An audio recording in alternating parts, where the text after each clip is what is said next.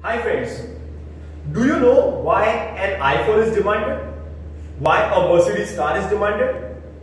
Why an air conditioner is demanded? Why an air cooler is demanded? Why this pen is demanded? Why medicines are demanded? Today, let's try to understand the reasons behind the demand of goods and services. Today's question of discussion is what is demand and what are the factors or determinants of demand. Meaning of demand. Demand in economics refers to the desire which is backed by the ability to pay and willingness to buy a particular commodity at a specific price and at a specified period of time.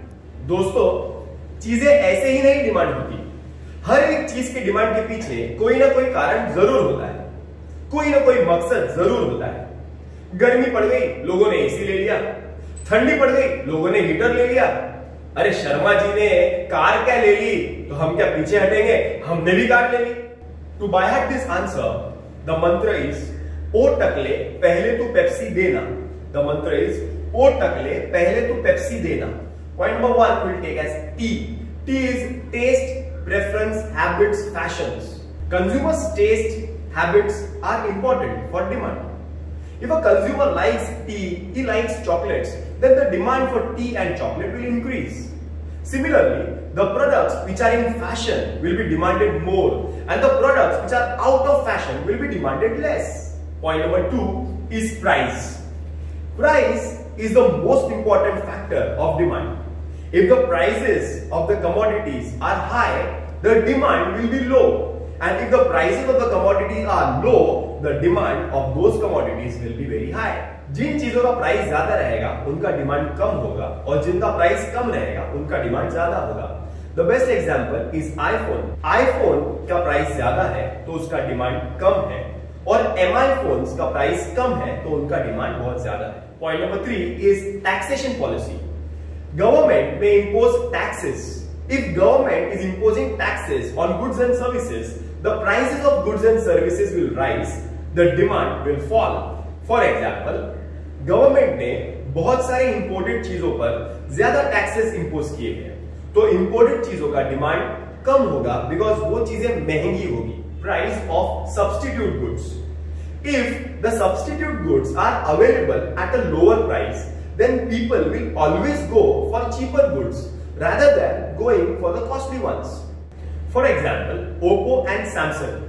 The features of Oppo and Samsung are almost the same. But फिर भी because Samsung एक higher range का product है तो demand for Oppo is increasing. Now why the demand for Oppo is increasing? Because of the price of the substitute product that is Samsung mobile. Point number five is E that is expectation of future price. If the consumers are expecting that in future the prices will rise then today they will demand more. And if they are expecting that the prices will fall in future, then they will demand less at the present.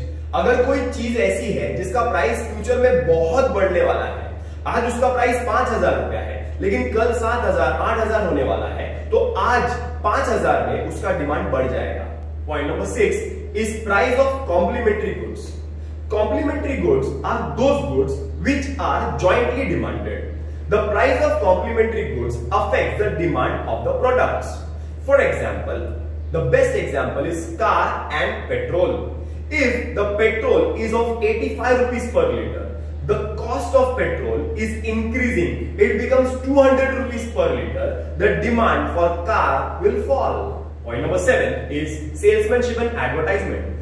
Goods which are powerfully advertised on radio, television, newspapers, social media, they push up the demand. Salesmanship and advertisement tend to change the preferences of the people. For example, cosmetics, toothpaste, soaps, etc.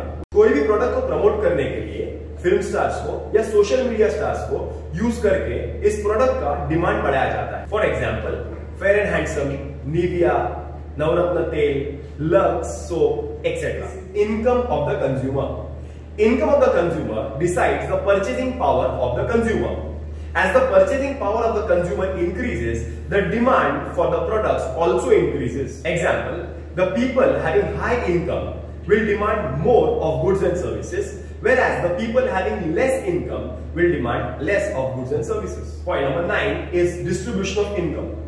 If there is an unequal distribution of national income and wealth in the country, the demand for goods and services will fall. India जैसे देश में unequal distribution of income है। यहाँ पर high income group के जो लोग हैं इनके पास बहुत ज़्यादा इनकम है और जो गरीब लोग हैं इनके पास बहुत कम इनकम है। इसके वजह से जो डिमांड है वो कम होता है।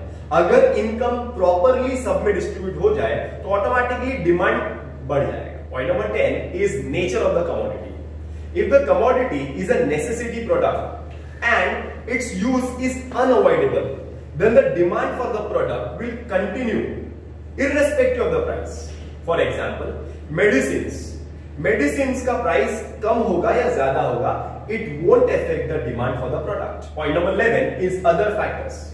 In other factors, you can write any factor which is determining demand. For example, climatic factors, natural factors, government factors, traditional factors, political factors, etc., which are helping in increase or decrease in demand.